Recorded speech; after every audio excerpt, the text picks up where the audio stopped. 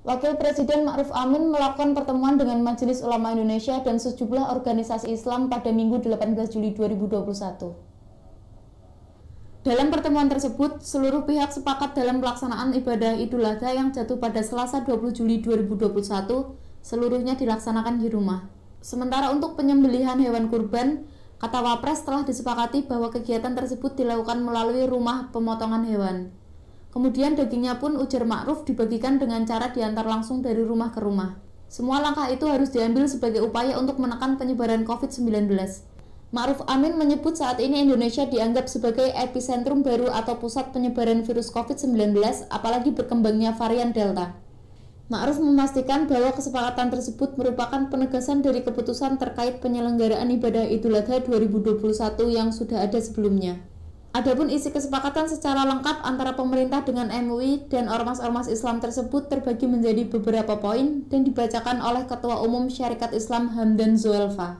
Dalam pertemuan tersebut juga dihadiri oleh Menteri Agama Yakut Kolil Kaumas dan sejumlah tokoh ormas Islam, antara lain Ketua MUI Abdullah Jaidi, Ketua Umum PB Tarbiyah Perti, Basri Bernanada, Ketua PB Matlaul Anwar Mbai Mulia Sarif, dan masih banyak lagi.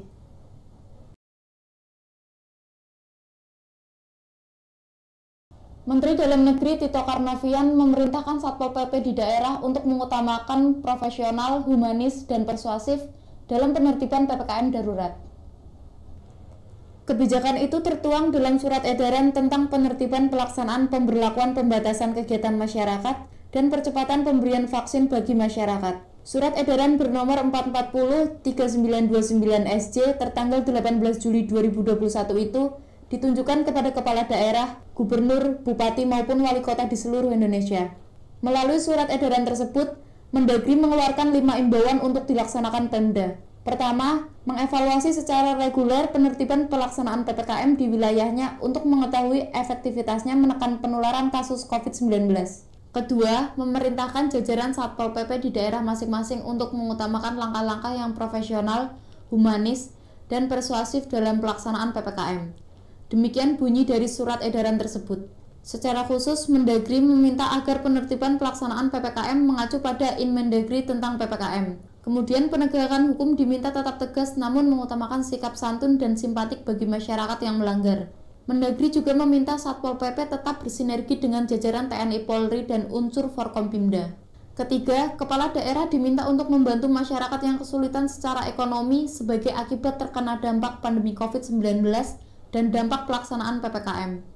Bentuk pemberian bantuan dapat berupa pemberian masker, hand sanitizer, bantuan sembako, dan suplemen makanan sehat, disesuaikan dengan kondisi atau kemampuan keuangan daerah.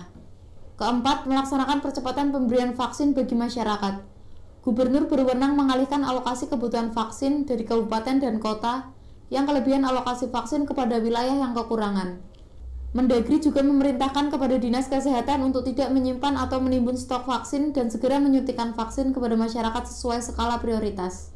Kelima, melakukan sosialisasi penerapan 5M yakni menggunakan masker, mencuci tangan, menjaga jarak, menghindari kerumunan dan mengurangi mobilitas secara masif. Mendistribusikan masker kepada masyarakat luas dengan menggunakan anggaran yang tersedia. Tulis surat edaran tersebut.